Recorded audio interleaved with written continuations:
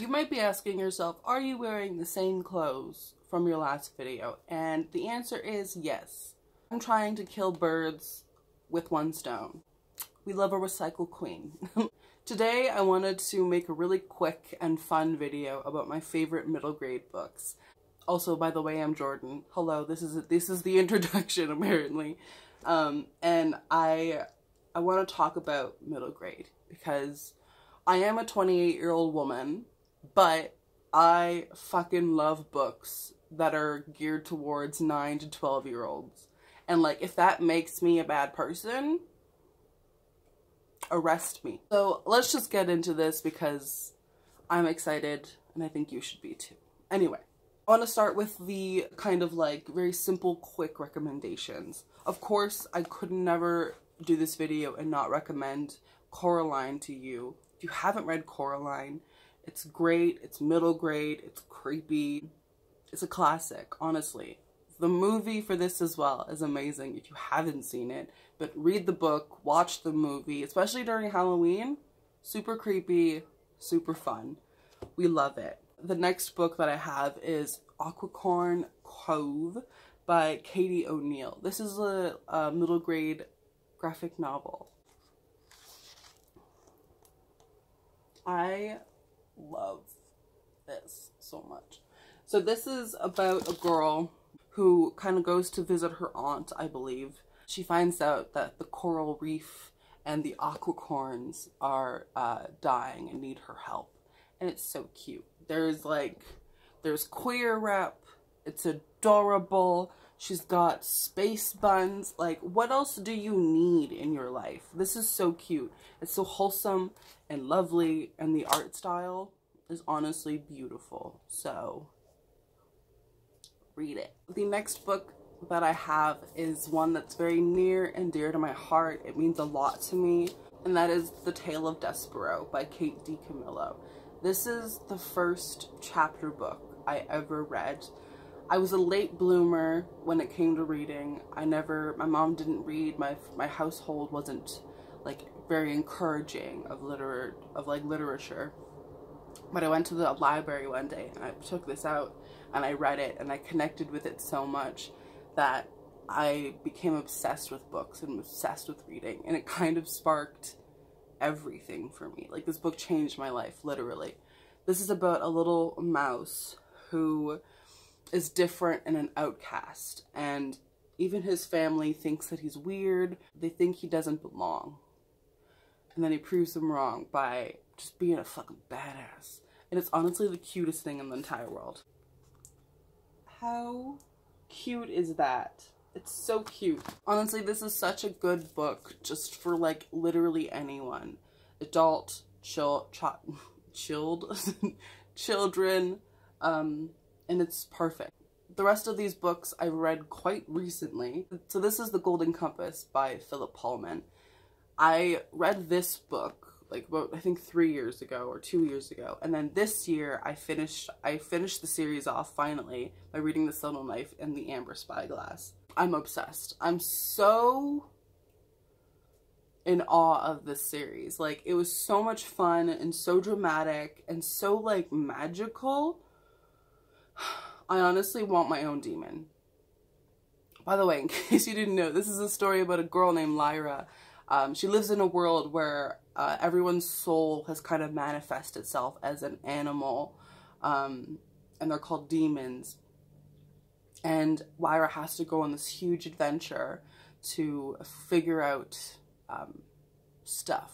I'm not gonna say what because it's it's on it's honestly best I think to go into this as blind as possible because it's so much fun. It's so so so so so good. The series is amazing. The books blew me away. Honestly, I loved them so much. And there were so many parts that I was so just amazed at how Mr. Pullman kind of like pulled everything together and like how there were so many clues throughout the series over all of these things and like I love it. I love it so much. This this is such good just fiction. Even if you're like if you don't like middle grade or YA, this is still like top notch stuff. And it's just a great fantasy series, just period. The next book, um, Actually, the next few books made me literally sob. Like, literally crying, like dying because of how just emotionally invested I was in these books. And I think I think if you're a crybaby, you would also just sob a little bit. Anyway, so the next one is Willa of the Wood by Robert Beatty. This is so good. I know I've heard people say that this is kind of like mediocre, blah blah blah. You're wrong. You're wrong. This is so good. It's got just the fucking coolest, most badass little girl. She's like she's like a forest spirit in a way, or like a forest um like nymph in a way. And she her and her colony like live away from the humans or they hide away. But something happens that kind of makes her have to like separate herself from her like colony. And it's so beautiful. I cried so hard when reading this book, like harder than I've cried probably for anything. This is so good. There's there's just nothing that I can say to even like I'm flabbergasted at how like just amazing this was. The characters are fully developed, fully realized. The writing is beautifully constructed. and this will tug at your heartstrings. I think it's just a beautiful story about family and like how family isn't always blood. It's just beautiful, heartbreaking, amazing. Speaking of family and heartbreaking, I also have to show you Night Owl, To Night Owl from Dogfish by Holly Greenberg Sloan and Meg Wolitzer. By the way, it's a signed copy that I got in uh, Seattle. America, because I live in Canada, America has so many more signed copies why? why can't we Canadians also have signed copies everywhere? Like everywhere that I went. Like I think I think I went to when I went to Seattle, I got like five different books that were signed. And when you're in Canada, like that's not a thing. Anyway, To Night Owl from Dogfish follows these two girls who are writing to each other because their dads are sending them off to summer camp together. Um, they find out that, that their dads are dating um, and they kind of want to break them up. They don't they don't want this at all. It's kind of like the parent trap but also better. This is so cute and so fun and honestly beautiful. Like again, this is another book again that features family not always having to be blood and I just love it so much. It's so cute. It's so, so, so, so, so, so, so cute. If you like feeling warm in your heart and feeling just like, like you want to feel like you have like a marshmallow, like a gooey, hot marshmallow in, in your heart, and you just like, it's like a little pillow. Like that's what this book does. I don't make it, I'm not making any sense, but it's true. This book knows what's up. And it's so cute and it's so well done.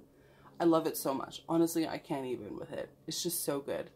The second last book that I'm going to show you is The Girl Who Drank the Moon by Kelly Barnhill. This is one of the best middle grade books just ever written. I read this around the same time that I read Willa of the Wood and again sobbed my face off. Like cried like ugly cried because of how just cute and wonderful and magical this is. This tells a story about a girl who, as a baby, gets sacrificed to this witch in the woods. The people in her village believe that they need to sacrifice somebody every year so that the witch who lives in the woods won't like destroy them or eat them or something. But the witch has to find these babies every year and like has to take them to another village and get somebody else to adopt them because she's not evil. She doesn't want to destroy anyone. She's just like a witch in the woods like so she so she finds this baby and she gives her too much moonlight. And so the baby is like just bursting with magic. So she has to keep the baby to look after the baby. And it kind of goes from there about this little girl who's just full of magic and has like this crazy family of like the witch and like this bog monster who's like a god and like a little baby dragon. Oh, Honestly, can't even tell you how much I love this book. It will melt your heart and make you cry and laugh and just feel just feels so good, honestly. Honestly, this is a this, this video I'm I'm starting to realize this is just a video of me gushing about these about middle grade books. But I do, I love all of them, especially this one. And I think if you like feeling good, read this because it won't let you down. I saved the best for last. So, this is probably my favorite middle grade series of all time. And I can't even, I can't even. So this is Nevermoor by Jessica Townsend and Wundersmith by Jessica Townsend. These books are so much fun. This follows a girl named Morgan Crow. Morgan is a cursed child, and her entire life she's been told, hey, you're cursed. You make bad things happen to everyone around you. And when you're 11 years old, on your birthday, you're gonna die. Everyone treats her like shit because she's cursed and bad things happen when she's around. So on her 11th birthday, she's ready to die. No one really gives a fuck. Her family's a bunch of assholes. And this dude named Jupiter North shows up and is like, hey, I'm gonna take you away to Nevermoor because of reasons. Anyway, so it goes on from there where Morgan gets whisked away to this magical place called Nevermoor. And it just, it's just so good. And I hate that people are like, ooh, this is like Harry Potter. That's Harry Potter, blah. Because it's not really like Harry Potter. It doesn't feature any like magical schools or anything like that. Or I guess it does. Anyway, it's not like Harry Potter. Except, I think, in feeling. When I read these books, I feel like I'm going back to Hogwarts in a way but it's like a new version of Hogwarts. It's like a Hogwarts that I'm completely unfamiliar with and new to. If you enjoy books or fun or like to feel good about your life or you want magic and cool and funny and evil characters, this is it, my dude this is it. These books are so good. I can't even tell you how much I love them. And I think if you haven't read them yet, you're missing out, my friend, because these are so good. Pick up Nevermoor. Just give it a read. That was my favorite uh, middle grade books. Please let me know down below if you also are obsessed with middle grade. Let me know what your favorite middle grade books are. I'm always looking for recommendations. Anyway, guys, thank you so much for watching. Please like this video and subscribe if you want to. And I'll see you in my next one. Bye!